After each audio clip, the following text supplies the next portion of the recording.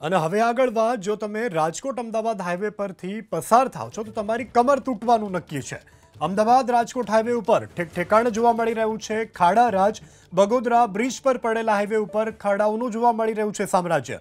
Highway ઉપર ખાડાને કારણે વાહન ચાલકોની તૂટી રહી છે કમર. બિસ્માર હાઈવેને કારણે વાહનોને પણ થઈ રહ્યું છે નુકસાન.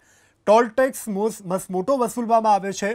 સુવિધાના નામે શૂન્ય હોવાનું પણ વાહન ચાલકો કહી રહ્યા છે. પ્રશાસન માત્ર વાતો કરતી હોવાનું વાહન ચાલકોનો રોષ. વરસાદ બંધ થયાના દિવસો બાદ પણ હજી પણ રસ્તાઓમાં ખાડાઓની સ્થિતિ જે છે તે યથાવત જોવા મળી રહી છે. આપ જે દ્રશ્યો જોઈ રહ્યા છો, અમદાવાદથી રાજકોટ જતો આ હાઈવે છે કે જેના ઉપર આ મસ્ત મોટા ખાડાઓ જે છે તે પડી ગયા છે ને તેને જ લઈને વાહન ચાલકો જે છે તે પરેશાનીઓનો સામનો કરી રહ્યા છે. તારાપુર બ્રિજ, ચોકડીવાળો બ્રિજ ઉતરતા જ બગોદરા બ્રિજ ચડતા પહેલાં જે પરિસ્થિતિ છે રસ્તાની તે પરિસ્થિતિ ખૂબ જ દયનીય હાલતમાં છે. તેને લઈને હાલ લોકો જે છે તે ખૂબ જ પરેશાનીનો સામનો કરી રહ્યા છે. અહીંયાથી પસાર થતા વાહન ચાલકને પૂછીશું કે તેમને આ રસ્તા ઉપરથી પસાર થયા કેવો અનુભવ થઈ રહ્યો છે. આ રસ્તા ઉપરથી પસાર થઈ રહ્યા છો. કેવો અનુભવ થઈ બહુ ખરાબ અનુભવ થઈ ગયો. આ ખાડાઓ આવા આવા કેટલી વાર પસાર થવા થાય આ અમારે રોજનું છે રોજે આવવાનું થાય શું કહેશો આ પ્રશાસન વાતો કરે બધું બરાબર છે બરાબર છે? નથી નથી બરાબર. બહુ હેરાન થાય છે. કેટલા ટાઈમ ત્યાં ખાડાઓ આ લગભગ છેલ્લા છ મહિનાથી છે અમે છ મહિને નીકળવી. આ જ પરિસ્થિતિ. આ જ પરિસ્થિતિ.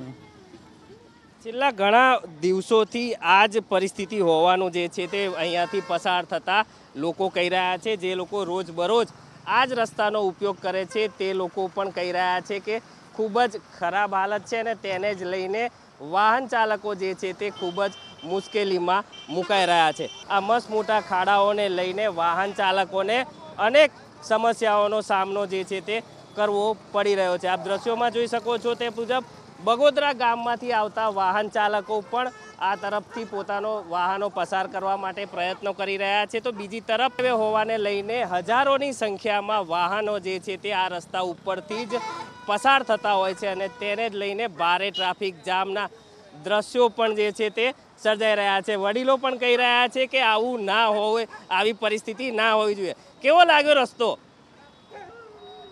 લોકો, હાલ કોઈને પણ પૂછીને આ અહીંયા વાહન વ્યવહારને ખોરવાય તેવી સ્થિતિ નથી, પરંતુ મસ્ત મોટા ખાડાઓ જે છે તે અહીંયા પડતા હાલ વાહન ચાલકોને જે છે તે ભારે હાલાકીનો સામનો કરવો પડી રહ્યો છે. તંત્ર દ્વારા વાતો કરવામાં આવી રહી છે, પરંતુ દ્રશ્યો જ બતાવી રહ્યા છે કે તંત્રની કામગીરી કેટલી યોગ્ય કરવામાં આવી છે.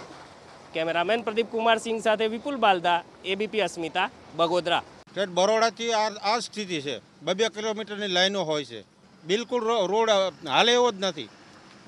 પૈસા ત્રણ ગણા વસૂલ કરે ટોલનાકા ઉપર. પૈસા લેશે તો એવું સુવિધા આપવી જોઈએ ને? બિલકુલ નથી. વિકાસના નામે